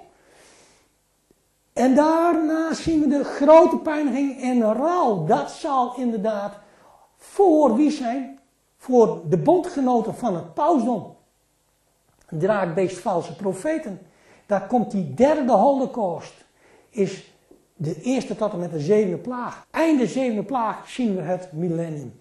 We zien de laatste straf voor Gods afvallig volk in de 3 plus 1 holocaust. De vierde holocaust is in Gog Magog. Dat is het allerlaatste. Lieve broeders en zusters, ik smeek u, ik smeek u allemaal in alle kerkgemeenschappen om hier notitie van te nemen en voor te bidden en te smeken en dit nogmaals te herhalen en die studies helemaal te gaan volgen. Want anders wordt u uitgeroeid door gebrek aan kennis. Voordat u het weet, maakt u de vergissing. U kunt niet zeggen, ik ga een beetje Sabbat houden en ik ga een beetje zondag houden. Dat gaat niet lukken. God sluit geen compromissen met zondaars. En daarom wil ik u als allerlaatste meenemen naar Openbaring 13. En wel vanuit Bijbelcommentaar, bladzijde 670. En daar staat het heel duidelijk in. Ik heb dat al eerder behandeld in Profetisch School B, maar ik vind hem ontzettend belangrijk. Eerste linie van boven. bladzijde 670 Bijbelcommentaar. Afval en nationale ondergang.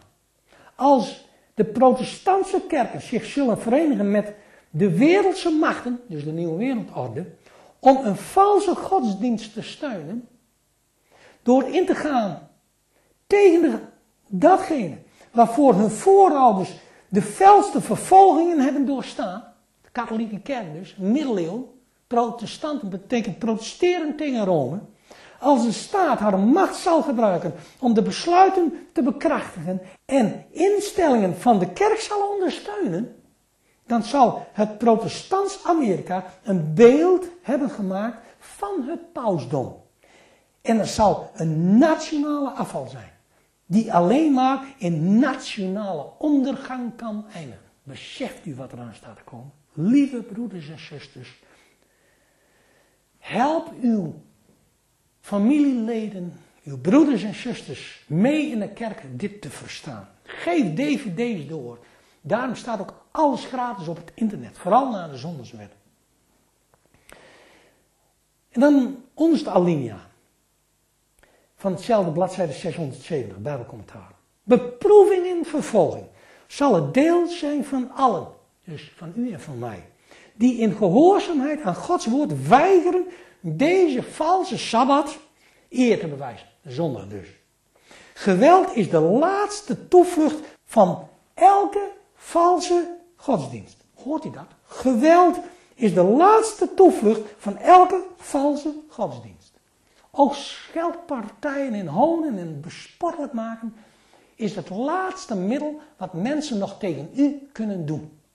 Dan weet u dat ze in hun hart beseffen dat ze verkeerd zijn, maar ze willen niet terug. Ze willen niet erkennen dat u gelijk hebt. Komt veelvuldig voor. In het begin wordt aantrekkingskracht gebruikt, zoals de koning van Babylon de macht van de muziek in uiterlijk vertoon gebruikte. U wordt verleid, u wordt misleid, vleierijen. Toen deze aantrekkelijke middelen, bedacht door mensen die door Satan waren geïnspireerd. Wat ziet u een hele hoop in de evangelische kerken? Muziekmiddelen, door Satan geïnspireerd. Handen en omhoog. En de Heilige Geest die moet toch komen. Lieve broeders en zusters, de Heilige Geest gebruikt u. En u moet niet de Heilige Geest vanaf de hemel willen afzingen en smeken. Verschrikkelijk. Verschrikkelijk. Ik zal het nogmaals zeggen.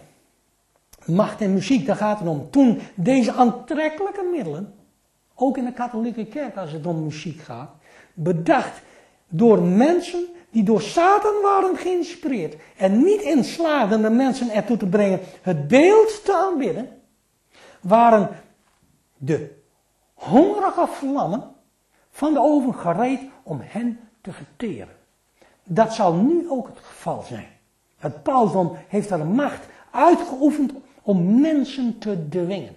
Vooral in de nieuwe wereldorde. Haten gehoorzaam en ze zal dat blijven doen. Wij hebben dezelfde geest nodig die tot uiting kwam in Gods dienstknechten tijdens de strijd van en met het heidendom. Ik zal u nog één stukje lezen. Klein stukje. Op bladzijde 674 van Bijbelcommentaar. Ter bemoediging. En dat begint al op bladzijde 673. Na bladzijde 674. Helemaal onderaan. Drie regels van onder. Daar staat al, mijn broeders en zusters, waardeer en bestudeer de waarheid. Dat staat er al boven. Maar ik wil drie regels van onder. Deze zullen met hem op de berg Sion staan. Maar zij moeten op deze aarde stand houden. Omgord met de gehele wapenrusting. Dus met het nieuwe licht. Klaar om zich bezig te houden met het Waarmee? Met het redden van degenen die op het punt staan om te komen. Hemelse engelen leiden bij dit zoeken. Geestelijke activiteiten worden vereist. Dat is de derde toets.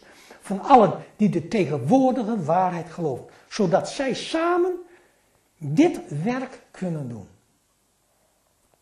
En dan in het midden van bladzijde 674. Spoedig. aan het einde van de regel. Spoedig zal het begrepen worden. Het veertiende hoofdstuk van openbaring is het hoofdstuk van het grootste belang. De drie engelenboodschappen. Dit schriftgedeelte zal spoedig in zijn gehele omvang begrepen worden. En de boodschappen die aan Johannes gegeven zijn, zullen heel duidelijk herhaald worden. Het identificeren van de drie engelen. Christus komt weer met macht om zalig te maken. Om mensen op deze gebeurtenis voor te bereiden, heeft hij de eerste, de tweede en de derde engel met boodschappen gezonden. Deze engelen stellen degenen voor die de waarheid, het nieuwe licht ontvangen en met kracht het evangelie aan de wereld openbaren. En dat kunt u zijn. En wat gaat er dan gebeuren? Grote aantallen aanvaarden de waarheid helemaal onderin. Van hetzelfde bladzijde. De tijd van Gods verwoestende oordelen is de tijd van genade voor hen. Voor u, let op. Die geen kans hebben gehad om te leren wat waarheid is, het nieuwe licht. Vol tederheid ziet de Heer op hen neer. Zijn hart vol ontferming is bewogen. Zijn hand is nog uitgestrekt om te redden, lieve broeders en zusters. In dat drie plus één volk, het vierde volk. Terwijl de deur gesloten is voor hen die niet binnen wilden gaan. Die het nieuwe licht afwezen. Grote aantallen zullen worden toegelaten die in deze laatste dagen de waarheid voor het eerst hebben gehoord. Prijs de Heer. Als u voor het eerst deze geweldige waarheden hebt gehoord, kunt u als een uitverkoren vat door Jezus Christus gebruikt worden. Er is weinig nog aan toe te voegen. Laten we de Heer zoeken in gebed. Lieve Vader in hemel, lieve Heer Jezus, wat hebt u ons veel weer bekendgemaakt. Help uw oprechte kinderen, lieve Heer Jezus. Ik smeek het persoonlijk van u, die nu luisteren. Zowel in het letterlijk Israël, het geestelijk Israël, als in het moderne Israël. Joden, christelijke kerken, evangelische, katholieke kerken, maar ook in de zevende kerken. Dat ze mogen beseffen dat ze, als ze licht afwijzen, het te laat voor hen is. Ik smeek u persoonlijk, lieve Heer Jezus, wilt u met uw Heilige Geest bij al deze mensen zijn, die welwillend zijn, die wel de waarheid willen horen en het uit willen dragen. Zo leggen we deze eerste boek voor uw heilige aangezicht neer. Kom met kracht bij de mensen thuis, bij mij, en dat we in alle nederigheid uw oprechte kinderen nog kunnen en mogen roepen. Door uw kracht, door uw wijsheid. Dit alles bidden we uit vergeving van onze fouten en gebreken en om Christus Jezus onze zijn naam. Amen.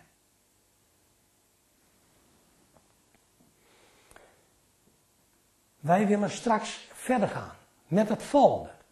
Met een heel mooi gedeelte weer. En dat is in deels 17 de Joodse visie op het christendom met de Joodse Mishnah. Er komt nog meer bij kijken komen nog meer vervalsingen binnen. En dan vooral vanuit de Joodse visie, zo zult u begrijpen. Ik mag u vanaf deze kant ook weer Gods onmisbare zegen toewensen. Gods onmisbare liefde. En ook zegen gewenst in uw studie, wat zo ontzettend belangrijk is. En graag tot de volgende keer bij de profetenschool van boodschap. En tot ziens.